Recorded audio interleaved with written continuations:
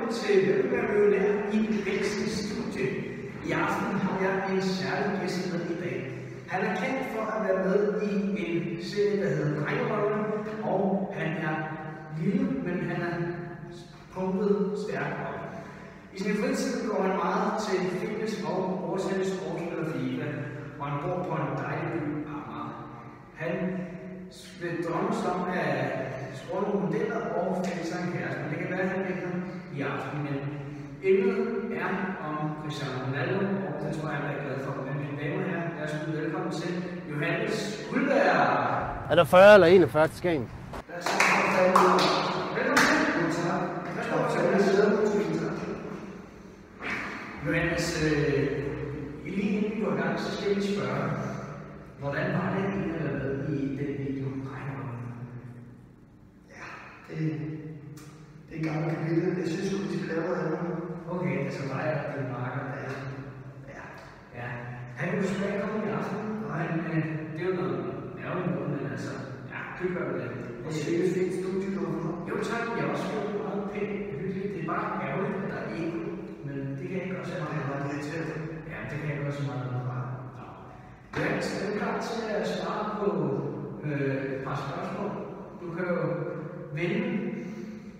vinde en model, eller du kan vinde nogle penge. Så tager jeg pengene. Okay. Øh, vi spiller om Cristiano Ronaldo, eller det er emnet. Ja. Så øh, ja, men øh, lad os spille. Det bliver spændende. Ja. Og spørgsmål nummer 1 til Johannes, det er, hvilken nummertrøje har Ronaldo bag på sin trøje? Og der kommer fire valgmuligheder.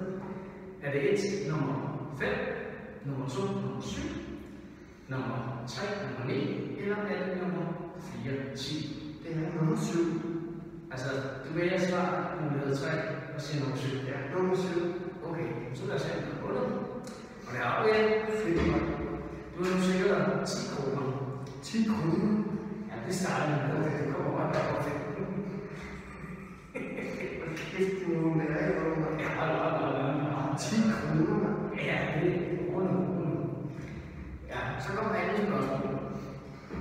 Hvilken klub spillede Cristiano Ronaldo før han kom til Real Madrid? Og der er ikke flere muligheder. Er det 1. Manchester United, 2. Øh, Manchester City, 3. Chelsea eller 4. Tottenham? Det var en vej. Manchester United, Yes. er det dit endelige svar? Det er mit endelige svar. Godt, så lad os se, om det er det rigtige svar. Og det var det. Det var jo sikkert 20 kroner. Fedt, mand. Så 30 kroner, ja. det er den næste. Øh, så kommer spørgsmål nummer 3. Hvilken klub spillede Cristiano Ronaldo imod Champions League i 2018? Var det 1. Atletico Madrid, 2. FC Barcelona, 3. Øh, Arsenal eller 4. FC København? Jeg mener, det var lidt til 100. Atletico Madrid, ja. Det er du ikke sikker på? Yes. Altså, var du og se kampen, eller? Ja. Mm, okay, jamen øh, det kan være, at du har ret, men lad os se. Det var det, ja. Tillykke, du er sikkert 30 kroner. 130 fedt, mand. Ja, er du klar til flere spørgsmål, som er til 40 kroner? 40 kroner. Ja, det er Okay. Hvilken præstation spiller Cristiano Ronaldo som? Er det et angriber, to midtbanespiller, tre forsvarsspiller, eller er det fire målmænd? Helt klart angriber. Du vil vælge nummer et angriber, selvfølgelig. Jamen, så lad os se, om det er rigtigt svar. Det var det. Det var sikkert 40 kroner. Mand. Så sådan. Så kommer vi til spørgsmål nummer 5. Hvis du er klar. Ja, jeg er altid klar. Det er godt. Øh, hvad er Ronaldos replik? Er det nummer 1, syg? Er det nummer 2, han er alle? 3, er halleluja? Eller 4, habibi? Det er helt klart syg. Nummer 1, det siger du. Jamen, godt så lad os se, om det er rigtige svar. Det var det, jeg tror til lykke. Du har sikkert 50 kroner. Fedt. Og hvor meget kan jeg vinde? Jamen, øh, det må vi lige se, når han er færdig. Men øh, det var i hvert fald ikke meget langt fra. Men, altså, jeg har allerede tjekket med øh, på at komme her i det her studie. Ja, det er det. det føler jeg. Ja, tak skal du have. Det var også pænt af dig, at du kom her. Ja, tak. Ja, men øh, man skal ikke godt gå videre, og så slår man havsmål. Jo, som man siger. Ja, godt. Så kommer til 6. spørgsmål til 75 kroner. Åh, nu er det lidt prøve. Ja, ja det har jeg. Øh, hvad var det, der skete, da Ronaldo spillede i Juventus? Fik, var det nummer et, fik han rødt kort, fordi han ikke spiller i år? Var det nummer to, han tabte målmanden og disketerede ham? Var det tre, han brak for til publikum? Eller var det fire, han stod 12? Han rev idioten i år. Idioten? Ja. Altså han spiller? Ja. Du må sige? Ja. Okay. Jamen, er det det endelige svar? Det er mit svar. Godt, jamen, så lad os se, om du har vundet 75 kroner. Det har vi, og tillykke. Er du klar til nogle syv spørgsmål? Jeg ser nogle 100 kroner. Godt, ja, det er godt. Øh, ja, nu skal lige sætte den her. Ja, der var. Godt. Hvilken trøjenummer havde han på Real Madrid, før han fik nummer 7? Var det nummer 9? Var det nummer 3? Var det nummer 6? Eller var det 99? Det var nummer 9. Nummer 9. Ja. Du vælger simpelthen nummer 9. Ja, der vælger nummer 9. Godt, så lad os se, om det er det rigtige svar. Og det var det. Så tillykke med 100 kroner. Og fedt. Der Ja. er 100 kroner. Ja, ja, ja, du højere. Ja, du højere. Som man siger. Ja.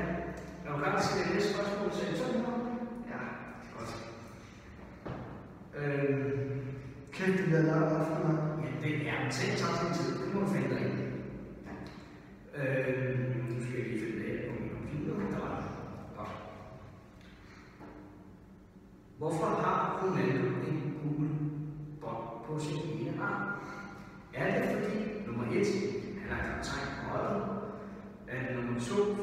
for at tage nogle blodprøver? Er det nummer 4 for at spille smart? Eller er det nummer 4 øh, for at lære sig? Jeg skulle tro, det var for at lære sig, men nej, det er det ikke. Han er ikke for Er der kaptajn på? Ja, han er kaptajn.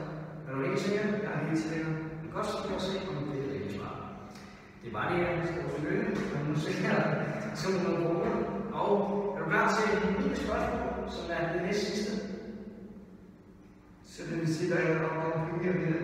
Og det, det, det må vi se til sidste spørgsmål, men det her spørgsmål, det er til 500 kroner. Okay. Er du klar til det her? Øh, hvor mange priser har Ronaldo vundet? Er det 1, 4, 2, 5, 3, 6 eller 4, 7? Det er fem gange vundet. Du vælger svaret med nummer 2. Ja. Og du er helt sikker på? Helt sikker. Jamen, så er sikker på, det Jeg burde have haft flere. Ja. Lad os finde det bare. Og det var det. Så var selvfølgelig med de 500. Og så ja. Nu der en lille nogle dage. Ja, det er sgu mange penge nu. Det er noget at sige. Er du klar til aftens aller, aller sidste spørgsmål? Ja. Til 1000 kroner. 1000 kroner. Det var det sjovt med. Nej, det er, altså, det er ikke mig, der laver regler, det er kun værelse. Okay, så lad os tage den 1000. altså. Okay, er du klar? Ja, jeg er altid klar. Godt. Så lad os spille. Og Johannes, nu kommer spørgsmålet. Hvilket land kommer Ronaldo fra? Er det A. Danmark, 2. Portugal, 3. Spanien, eller er det 4. Østrig? Det var fedt, at stå Danmark. Men det er det ikke. Portugal. Det er Portugal? Ja. Og du er helt sikker på? Jamen Johannes, hvis det er rigtigt, så har du vundet 1000 kroner, og hvis det er forkert, jamen øh, så har du vundet 25 kroner. Okay. Ja, det er cool. Ja, så lad os se, om det er det rigtige svar. Johannes, Ronaldo kunne være fra Danmark, Ja. men desværre er han ikke. Men han kunne også godt være forvisende. Det kunne godt, men han var godt. Ja, men han fik hurtigt varme, men det er det heller ikke. Spanien, det er jo et varmt sted, men ifølge hans testamente er han fra Portugal, så det er rigtig klart. Det er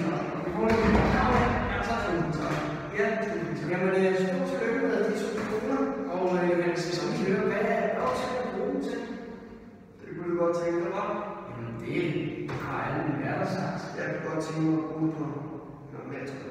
Noget mere tøj. Jamen, det er også fornuftigt valg. Jamen, Johannes, tak fordi du vil være med i sådan en show. Og øh, så stik du af, og så have noget lidt i fremtiden, ikke? Det kan du sætte igen. Og får jeg lige de 1000 kroner? Har du ikke fået det? Nej, jeg for fanden. Så så... Jamen, øh, tak for at jeg opmuntrer det. Er der 40 eller 41 til Skagen? Og tusind tak, fordi I så med her øh, derude. Vi vender forhåbentlig tilbage med en ny gæst. Hvis vi er studiet, hvem det kan være, det ved man ikke. Men tusind tak, fordi I så med. Hej hej, og have en god dag.